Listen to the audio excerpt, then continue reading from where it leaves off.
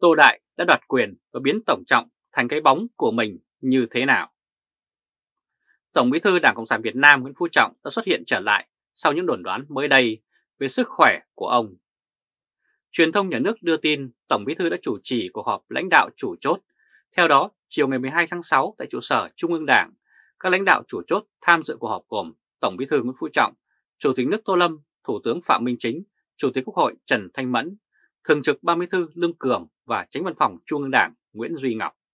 Cuộc họp đánh giá tình hình và kết quả công tác trong các tháng 4 và tháng 5 năm 2024, đồng thời bàn về các nhiệm vụ trọng tâm trong thời gian tới.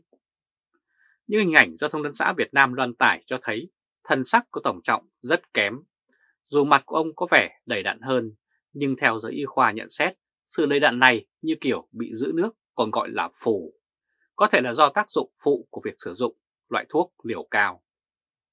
Qua tìm hiểu được biết, thuốc này là loại thuốc có tác dụng tương tự như hormone, được sản xuất bởi hai tuyến thượng thận bài tiết vào trong máu. Một phần là được công luận và giới quan sát quan tâm.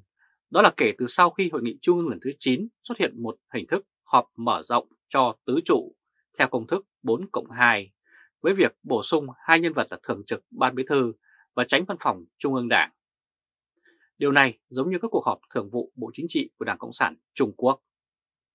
Điều đó có liên quan gì đến việc, theo giới thạo tin, các cố vấn của Đảng Cộng sản Trung Quốc đã góp ý với ban lãnh đạo Đảng Cộng sản Việt Nam rằng cần có những bước chấn chỉnh trong hoạt động của Ban chỉ đạo Trung ương theo đúng mô hình của Trung Quốc. Đây là phiên họp các lãnh đạo chủ chốt lần thứ hai. Nếu so sánh với phiên họp lần trước diễn ra ngay sau hội nghị Trung ương lần thứ 9, có thể thấy vị trí ngồi của các lãnh đạo này cũng đã thay đổi.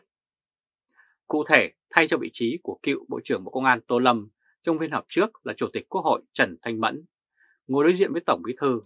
Chủ tịch Tô Lâm đã chuyển sang vị trí cánh tay trái của Tổng Bí Thư, còn Thủ tướng Phạm Minh Chính vẫn giữ vị trí cánh tay phải. Đại tướng Lương Cường, Thường trực Ban Bí Thư đã đổi chỗ ngồi ngự trên ghế ngoài rìa phía đối diện với ông Trọng. Tránh văn phòng Trung ương Đảng Nguyễn Duy Ngọc thì ngồi bên phải ông Mẫn trong vai trò thư ký.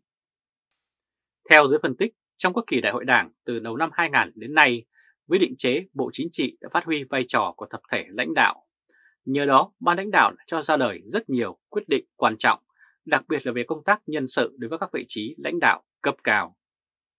Tuy nhiên, kể từ sau đại hội lần thứ 12, với sự tiếm quyền của Tổng Trọng đã dẫn đến việc số đông các ủy viên Bộ Chính trị là do Tổng Trọng bày binh bố trận đưa vào Bộ Chính trị với mục đích thao túng nhằm nắm số phiếu biểu quyết áp đảo.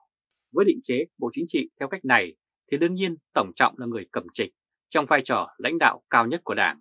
Ông Trọng là người toàn quyền quyết định nội dung của cuộc họp, triệu tập cũng như điều hành các phiên họp. Điều đó đã dẫn đến tình trạng một tỷ lệ rất cao ủy viên Bộ Chính trị trở thành cái bóng của Tổng Bí Thư và mọi quyết định do Tổng Trọng đưa ra đều được Bộ Chính trị đồng thuận một cách gần như tuyệt đối nhất là quyết định liên quan đến vấn đề nhân sự, bổ nhiệm hay kỷ luật đối với lãnh đạo cấp cao. Đó là lý do vì sao, theo ý kiến của lãnh đạo Bắc Kinh, thì tình thức họp của các lãnh đạo chủ chốt, tức là họp Bộ Chính trị thu hẹp hay họp tứ trụ mở rộng, được Chủ tịch nước Tô Lâm triệt để khai thác. Vì với phương thức này, ông Tô Lâm giành được ưu thế tới 4 trên 6 so với Tổng Bí thư Nguyễn Phú Trọng. Cụ thể, bốn nhân vật bao gồm Tô Lâm, Trần Thanh Mẫn, Phạm Minh Chính và Nguyễn Duy Ngọc sẽ bỏ phiếu ủng hộ cho ông Tô Lâm. Phe Tổng Trọng chỉ có hai phiếu của Lương Cường và ông Trọng. Tứ trụ Việt Nam bao gồm Tổng Bí Thư, Chủ tịch nước, Thủ tướng, Chính phủ và Chủ tịch Quốc hội. Đây là mô hình lãnh đạo tập thể mà Đảng Cộng sản Việt Nam lâu nay vẫn áp dụng. Nhưng đến nay với công thức 4 cộng 2, với việc bổ sung hai nhân vật thường trực ban bí thư và tránh văn phòng Trung ương Đảng, Chủ tịch Tô Lâm dễ dàng thâu tóm được các ý kiến tập thể của 16 hay 18 ủy viên Bộ Chính trị. Đây là hình thức đoạt quyền âm thầm, êm thấm của Chủ tịch Tô Lâm đối với Tổng Trọng mà ít người biết được. Đồng thời hiếm nhiên Tổng Trọng trở thành cái bóng của ông trùm mật vụ để rồi chuẩn bị về vườn trong một ngày không xa. Quý vị và các bạn được theo dõi chương trình truyền hình tiếp của Thời báo chấm với bản tin Tô Lâm đã đoạt quyền và biến Tổng Trọng thành cái bóng của mình như thế nào.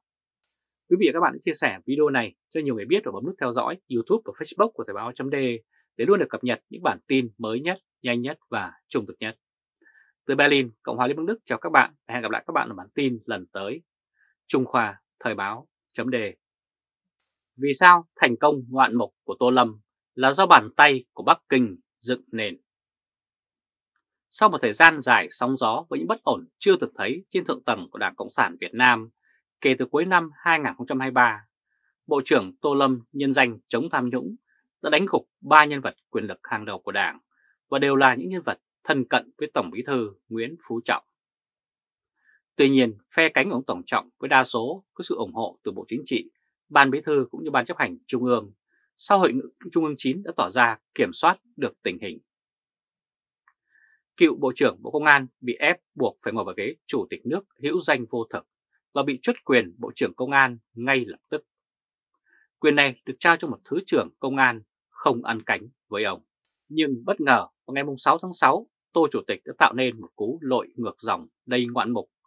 Ông đã thành công trong việc đưa một đàn em thân cận, đồng thời là đồng hương Hương Yên, Thượng tướng Lương Tam Quang, Ủy viên Trung ương Đảng, Thứ trưởng Công an đã được Quốc hội đồng thuận cao để trở thành Bộ trưởng Bộ Công an. Đây là một điều chưa từng có tiền lệ trong lịch sử của Đảng Cộng sản Việt Nam, nhất là từ năm 1975 cho đến nay. Điều này đã phá vỡ mọi quy định mang tính truyền thống của Đảng, đó là nhân sự Bộ trưởng Bộ Công an bắt buộc phải là Ủy viên Bộ Chính trị, ít nhất một nhiệm kỳ 5 năm. Trong khi ông Lương Tâm Quang mới là Ủy viên Trung ương Đảng được hơn 3 năm, còn chưa đủ điều kiện để xét xử xét duyệt vào Bộ Chính trị. Trước đó chưa đầy một tháng, Ban chấp hành Trung ương vừa bầu bổ sung thêm 4 ủy viên Bộ Chính trị, nhưng không có ông Lương Tam Quang. Tuy nhiên không chỉ dừng lại ở đó, chỉ sau 4 ngày nhậm chức Bộ trưởng, Thượng tướng Lương Tam Quang đã được Bộ Chính trị, Ban Bí thư Thống nhất chỉ định làm Bí thư Đảng ủy Công an Trung ương. Như vậy lại xuất hiện thêm một nghịch lý đó là tướng Quang trở thành thủ trưởng cấp trên của Tổng trọng và Thủ tướng Phạm Minh Chính vốn là các ủy viên Đảng ủy Công an Trung ương đều là dân gian gọi là sinh con rồi mới sinh cha. Trong cuộc tiếp đại sứ Trung Quốc Hùng Ba tại Hà Nội ngày 11 tháng 6, Chủ tịch nước Tô Lâm khẳng định tiếp tục phát triển quan hệ hữu nghị, hợp tác với Trung Quốc là lựa chọn chiến lược ưu tiên hàng đầu trong tổng thể đường lối đối ngoại của Việt Nam. Theo giới quan sát, việc đại sứ Trung Quốc Hùng Ba là vị đại sứ nước ngoài đầu tiên ở Việt Nam chủ động đến chào và chúc mừng ông Tô Lâm trở thành chủ tịch nước là điều hết sức bất thường. Điều này cho thấy ít nhất về mặt bề nổi, nhà nước Việt Nam với vai trò nguyên thủ quốc gia của chủ tịch Tô Lâm đã có biểu hiện thuần phục Bắc Kinh tuyệt đối và vô điều kiện. Được biết, Đại sứ Hùng Ba đã từng là Đại sứ Trung Quốc tại Campuchia từ năm 2016 đến năm 2018. Nhà báo Trúc Phương tiết lộ tiếp như sau. Với sự dẫn dắt của Hùng Ba, Campuchia đã đi sâu vào quỹ đạo của Trung Quốc. Thủ tướng Hun Sen đã thắt chặt kiểm soát an ninh nội chính, báo chí tự do bị xóa sổ.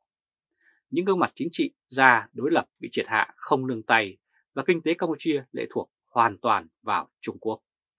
Điều này hoàn toàn phù hợp với những đánh giá về Tô Lâm, đó là những người như Tô Lâm đặt sự sống còn của chế độ cao hơn vận mệnh tương lai quốc gia, sẽ ưu tiên cho sự tồn tại của đảng hơn là sự phát triển kinh tế. Đồng thời chế độ công an trị do Tô Lâm thiết lập đã và đang sẵn sàng hy sinh tăng trưởng kinh tế quốc gia để kiểm soát chính trị chặt hơn.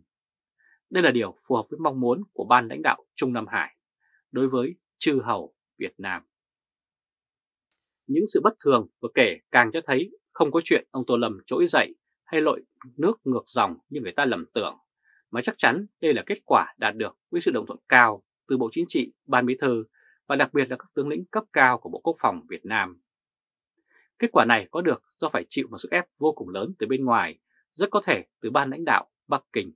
Cũng xin nhắc lại giáo sư Thiền từ Úc, ông Tô Lâm là một ứng viên gây chia rẽ trong đảng, ông nói. Ông không nhận được sự ủng hộ cao của giới lãnh đạo cấp cao của Quốc hội Việt Nam, bằng chứng là trong cuộc bỏ phiếu với 44 chức danh do Quốc hội bầu và phê chuẩn vào năm 2023. Ông Tô Lâm có số phiếu tín nhiệm thấp cao nhất trong số 6 ủy viên Bộ Chính trị được lấy phiếu tín nhiệm. Quý vị và các bạn vừa theo dõi chương trình trực tiếp của Thời báo chấm với bản tin Vì sao thành công ngoạn mục của Tô Lâm lại là bàn tay của Bắc Kinh sắp đặt. Quý vị và các bạn hãy chia sẻ video này cho nhiều người biết và bấm nút theo dõi YouTube và Facebook của Thời báo .de để luôn được cập nhật những bản tin mới nhất, nhanh nhất và trung thực nhất. Từ Berlin, Cộng hòa Liên bang Đức chào các bạn và hẹn gặp lại các bạn ở bản tin lần tới. Trung Khoa Thời báo .de.